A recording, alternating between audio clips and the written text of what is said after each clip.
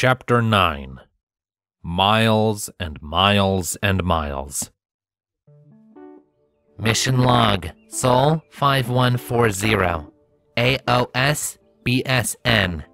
Message received. Source Applejack. All right, y'all, let's get this show on the road, so to speak. Rarity, what in the hell is that for? What? This? Rarity asked innocently, holding the swatch of purple sequin fabric protectively out of Applejack's reach with her magic. I just thought we might take the opportunity to give, uh, mm, opportunity a little more style is all. Rarity, the farm pony said as if talking to a small child. Starlight asked us to fix them wheels, nothing more. Oh, pish posh. That little bow tie Trixie gave him is adorable. I'm just looking to tie up the ensemble. I bet Starlight is going to love it too. I know who else is gonna love it. Rainbow Dash said, eyeing the fabric critically. The wind. It'll drag him down and make him even slower than he was before. We wanna go faster. Faster is what broke his wheel in the first place, Applejack maintained. Slow is what we need here. Meanwhile, as she watched her friends and fought down flashbacks to the catastrophe that was the previous year's Applewood Derby, Starlight stood next to Opportunity and laughed uncomfortably. It's fine. It's going to be fine. They know what they're doing. I hope. Opportunity, for its part, was enjoying the fresh air.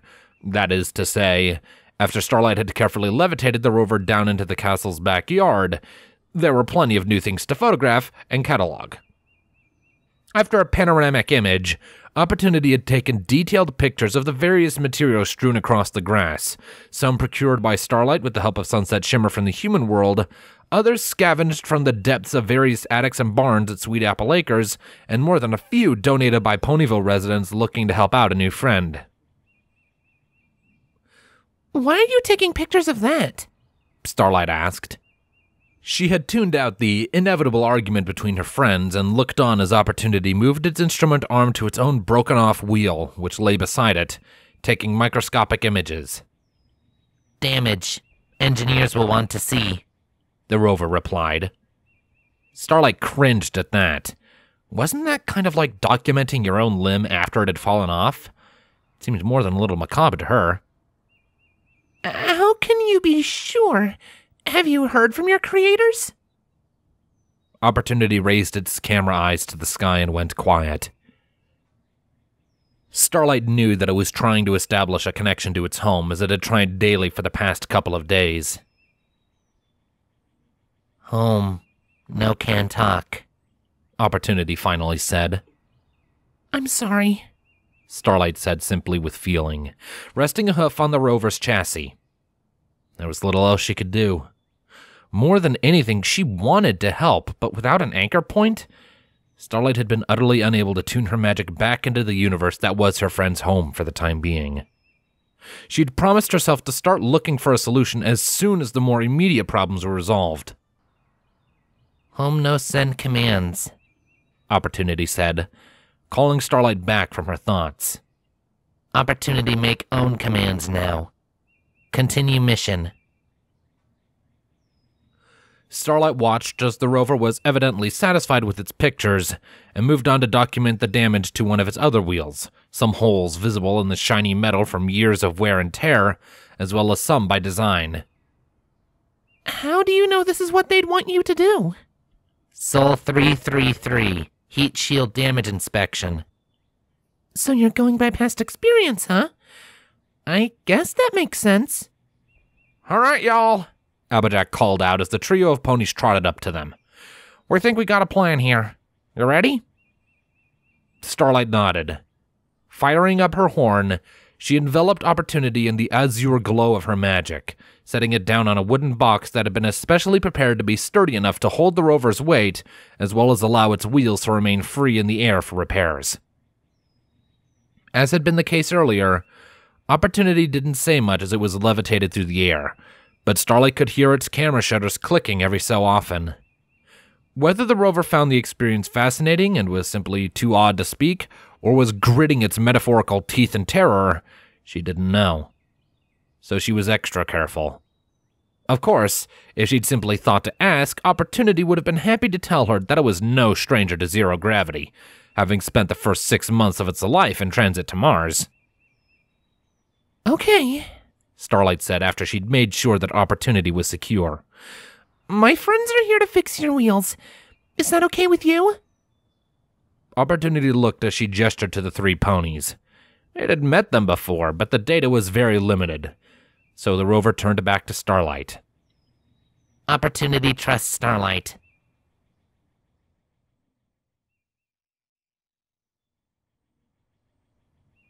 Opportunity tried, and failed, to move its pan cam the full 360 degrees as the mast was now restricted by a heavy metal bandolier.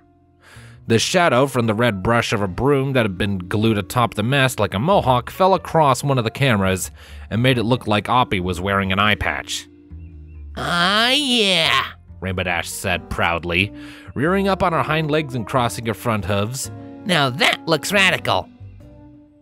Having been lowered down to the grass, Opportunity strained its electric motors but was unable to produce enough power to move the new wheels that were now encased in heavy tracks. Opportunity glanced over at Starlight, the camera moving so slowly that one might even call it a deadpan. Opportunity trusts Starlight.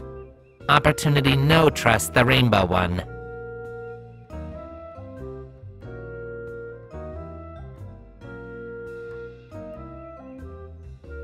Applejack had been the next to try her hoof, while Rainbow was pouting some distance away at having her Awesome upgrades. be undone by the farm pony.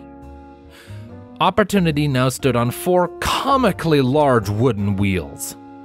Even if Applejack hadn't countered the argument that four were two less than the original six with the simple statement that four wheels were more traditional, there simply wouldn't have been enough space on the chassis.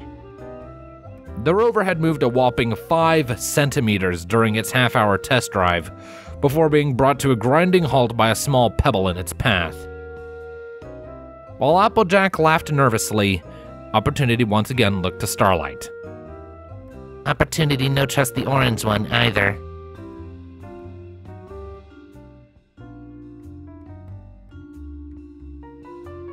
Rarity, what even is this? Starlight groaned. It's seasonal, darling. Rarity declared with a flip of her mane. It'll be the star of the slopes come winter. The wheels had been entirely replaced by a set of skis, which of course did nothing to move the rover forward, as the electric motors moved them backwards and forwards uselessly. A white and purple scarf had been draped around the mast, and a woolen cap of the same color scheme coquettishly placed at an angle atop the pan cam.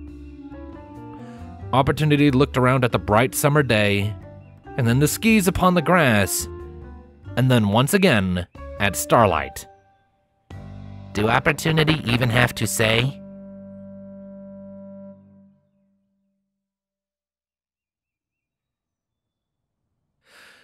I'm sorry. Starlight said dejectedly as the sorry group of ponies sat around the rover in their defeat with their heads hanging low. Opportunity was once again resting on the box with all its wheels removed. It all right. It said, glancing at its own base and slowly coming to terms with the thought that it might never again move under its own power. Opportunity appreciate try. Hey, uh, what's that? Rainbow asked, pointing a hoof into the distance where four fillies were drawing a wooden cart. Applebloom, Sweetie Belle, Scootaloo, and curiously enough, Diamond Tiara were slowly approaching with their project in tow. Hi, y'all. Applebloom greeted cheerfully. I hope you're not already done. We came to help. Starlight walked up to them and peered into the cart. Her eyes went wide. Girls, you made this? Yeah, we convinced Miss Cheerilee to let us do this instead of our physics project. Scootaloo declared proudly. I did the rims and the steering. And I made the suspension and the gearbox. Applebloom added. Sweetie Belle made the power converter that changes electrical power into magic energy for the six wheel drive. Diamond Tiara pointed out, having unhitched herself from the cart. Sweetie blushed and rubbed her hooves together. It was nothing. The drive itself is store bought, I just had to make an adapter so it could take electric energy instead of a magic battery. So that's why you wanted to know how the SGT works. Starlight said with a huge grin. Then she turned to Diamond Tiara. What did you do? Me? The pink filly asked. Oh, I really didn't do anything. Are you kidding? Apple Bloom gasped, then gave her a hug and looked at Starlight. She did more than the rest of us put together. She came up with the idea for starters. And she got us all the tools and parts we needed from her father's store. Sweetie added with an excited squee. Scootaloo bumped Diamond Tiara's shoulder with her hoof. Not to mention, she kept us in line by shooting down any dumb ideas and made sure it actually worked all together when the individual parts were done. Diamond Tiara blushed furiously at all the praise, but looked genuinely happy. Opportunity had watched the exchange with interest, but had been unable to see what the girls had come up with from its vantage point, so it had remained silent. Starlight gave the rover a grin over her shoulder. Do you still trust me, Oppie? Opportunity looked at the smiles of the four fillies. Opportunity trust Starlight. It reiterated, the pan cam moving up and down in a nod.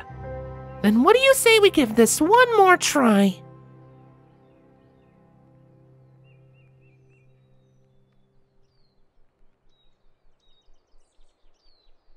As the sun was setting and tinting the field in soft hues of orange and red, the excited giggles and whoops of four fillies could be heard as they ran across the grass alongside one rover rising from the ashes like a phoenix.